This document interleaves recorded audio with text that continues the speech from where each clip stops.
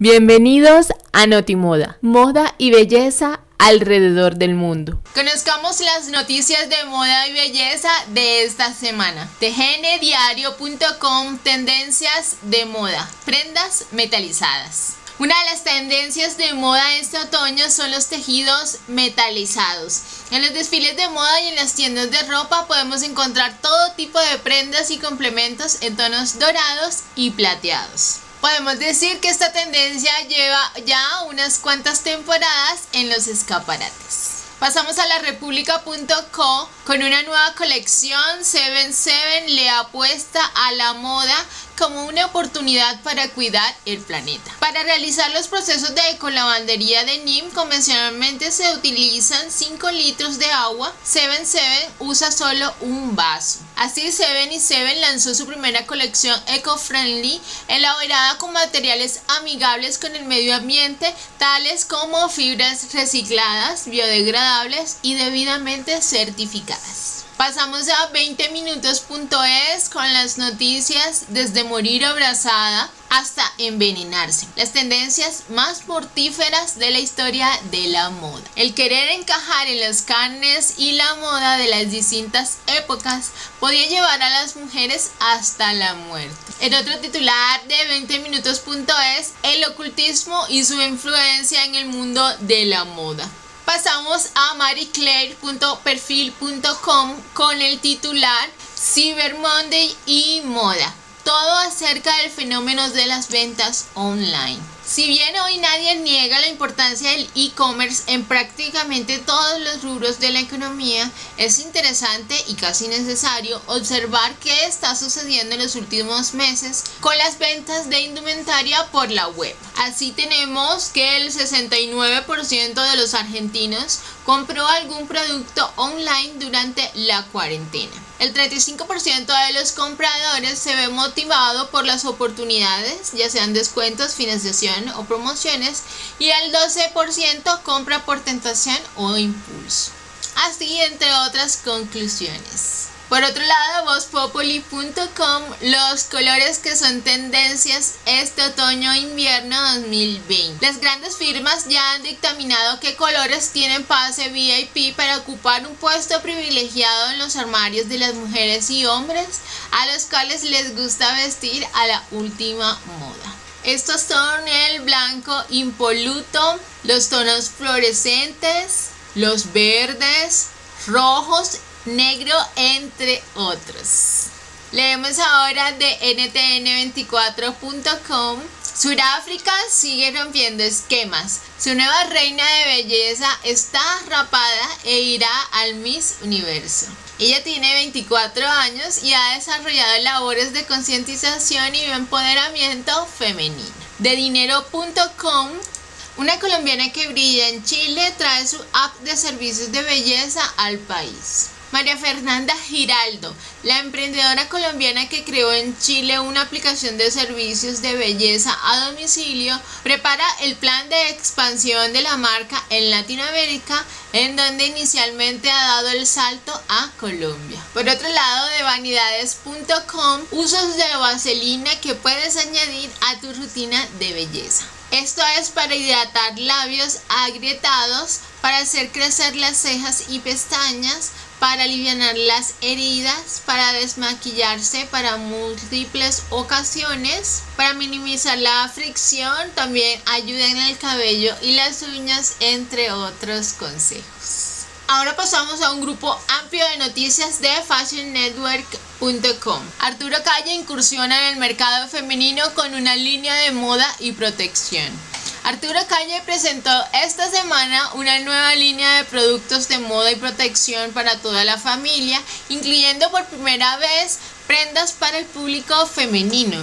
El nuevo desarrollo presenta una primera colección de 100 referencias desarrollado con tecnología de punta. También el Bogotá Fashion Film Festival confirma su segunda edición. Inicia la cuenta regresiva para la segunda edición del Bogotá Fashion Film Festival.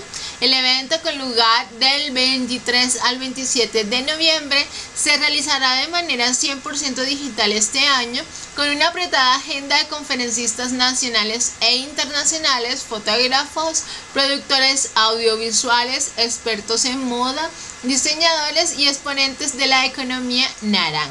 En otro titular, la colombiana Nosotras apuesta por la sostenibilidad y se estrena en la industria textil. La colombiana Nosotras presenta en el mercado su nueva línea de ropa íntima especializada en el periodo de las mujeres, Íntima Wear. La enseña apuesta por el desarrollo de textiles especializados con una tecnología patentada mientras redobla su estrategia sostenible. Tenemos ASOS estrena As You, una nueva marca que combina comodidad y elegancia. ASOS continúa con la estrategia de lanzar marcas propias tras el gran éxito de las que ya posee. La empresa estrena este lunes su última propuesta femenina bautizada como As You y que forma parte de su exclusiva cartera de marcas entre las que se encuentran Collusion, ASOS 4505 y Reclaiming Vintage. También Sara lanza al mercado su primera colección de lencería. Sara amplía sus miras y lanza su primera colección de lencería, compuesta por un amplio abanico de artículos entre los que se incluyen sujetadores, pijamas o camisones. Pasamos a Ralph Simons, presenta su primera colección femenina. Cuando su casa cumple 25 años, Ralph Simons debuta en la moda femenina. Esta primera intrusión fue presentada el 23 de octubre con la presentación digital de su colección masculina para primavera-verano 2021. El diseñador belga produjo para la ocasión un video de unos 20 minutos llamado Teenage Dream, salpicada de referencias a películas de culto con una atmósfera oscura y misteriosa. En otro titular, Gran Canaria Moda Cálida seguida por 80.000 personas en su formato virtual. La Semana de Moda Baño de Gran Canaria ha sido seguida en su formato virtual por 80.000 personas, lo que supone que el volumen de visualizaciones por internet se ha multiplicado por 10 en esta edición. Continuamos con fashionnetwork.com el Cyber Monday chileno inicia el próximo 2 de noviembre. La Cámara de Comercio de Santiago confirma que será el próximo lunes 2 de noviembre cuando da inicio a la edición 2020 del Cyber Monday en Chile para extenderse hasta el miércoles 4 del mismo mes. Si bien en años anteriores la fecha del evento se había consolidado en octubre, esta vez ha debido ser reagendada debido a los cambios generados por el efecto de la crisis del coronavirus. Leemos ahora los gigantes del lujo se recuperan en el tercer trimestre gracias a Asia. Los resultados trimestrales de los gigantes del lujo restauran la confianza en la industria y el mercado. Después de dos trimestres a media hasta fuertemente afectados por la pandemia del COVID, Hermes, LVMH y Kering demuestran la resistencia del sector con un fuerte aumento de las ventas en China, algunas también en Norteamérica e Internet.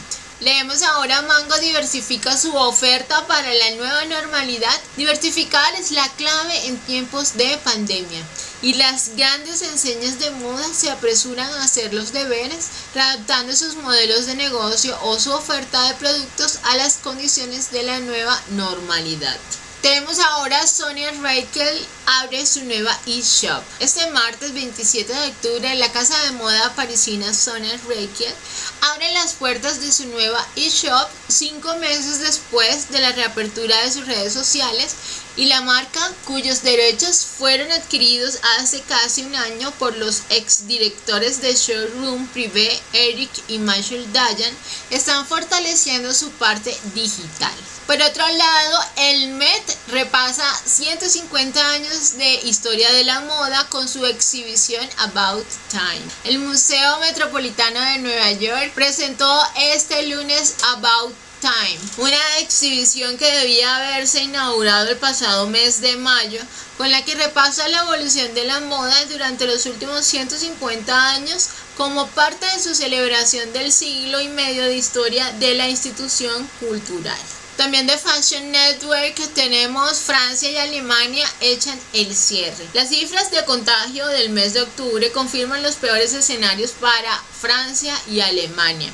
Este mismo miércoles 28 de octubre, los dirigentes de ambos países han anunciado el refuerzo de sus medidas de lucha contra la segunda ola de la pandemia. Decisiones firmes que marcan un regreso al confinamiento o al cierre parcial de la actividad. En un titular de la misma página, Boutique Moda Perú confirma su segunda edición en el país. La Alianza de Diseñadores de Moda de Perú presenta la tercera edición de Boutique Moda Perú con un cambio en el formato. Esta vez la tienda efímera será digital. El evento se realizará bajo el tema El alma de la tierra con las colecciones de la primavera-verano 2020 y 2021 y tendrá lugar el sábado 28 de noviembre. Tenemos también la colombiana Lobo Rosa, presenta su primera colaboración con Falabella. Falabella sigue apostando por la moda colombiana con colaboraciones especiales. Esta semana la colombiana Lobo Rosa presentó su primera colaboración con la cadena chilena con una veintena de prendas de vestir en diferentes categorías. Más de FashionNetwork.com Colombia prueba el TLC con Reino Unido. Colombia culmina la validación del Tratado de Libre Comercio con Reino Unido. El Congreso de la República aprobó la tercera instancia del tratado que se encuentra a la espera de la sanción presidencial para entrar en vigor. Tenemos también de NIM Premier Vision prepara una digital de NIM Week. En toda Europa, las limitaciones sanitarias vinculadas a la lucha contra la pandemia de COVID-19 están obligando a los salones, ferias y eventos a adaptarse.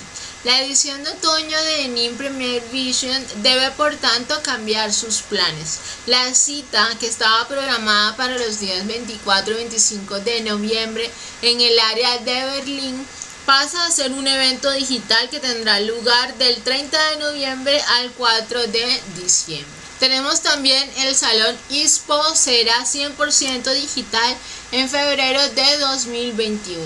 El Salón de la Industria Deportiva ISPO, programado originalmente del 1 al 5 de febrero de 2021 en formato híbrido, se celebrará finalmente en 100% formato digital. Por otro lado, el BFC fija la fecha para las siguientes tres Fashion Weeks de Londres el British Fashion Council, ente rector de la moda en Reino Unido, anunció el jueves las fechas de las próximas tres ediciones de la Fashion Weeks de Londres. Sin embargo, canceló la temporada masculina de enero de 2021. Por otro lado, Pro Colombia presenta su macro rueda de las Américas en el canal digital. La macro rueda de las Américas es una de las ferias comerciales más importantes del país. El evento que se realiza anualmente en Cartagena tendrá lugar este año del 3 al 13 de noviembre en el canal digital. La organización confirmó la participación de más de 1.250 empresas colombianas este año. También Labs concluyó su primera edición digital tras 24 eventos. En una apuesta sin precedentes para la organización en eventos de este tipo, el Latin American Fashion Summit realizó su tercera edición en el canal digital. La plataforma de networking entre los profesionales de la industria de la moda en Latinoamérica aceptó los retos de la pandemia y se trasladó al canal digital con un alto número de participantes y 24 espacios de moda. En una última noticia de fashionnetwork.com y del día, la Semana de la Moda de Sao Paulo impone cuota racial del 50% en sus desfiles.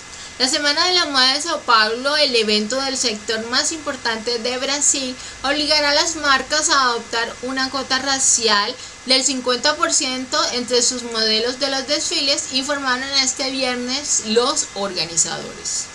Hasta aquí las noticias de hoy. Los esperamos en nuestra siguiente entrega de noticias sobre moda y belleza. Te invitamos a conocer nuestra web www.stylepoint.club para toda la información de moda, belleza y asesoría de imagen. Y suscríbete a nuestras redes sociales para inspirarte con fotos, gráficos, videos y mucho más. StylePoint.club, un punto de encuentro entre la moda y la belleza.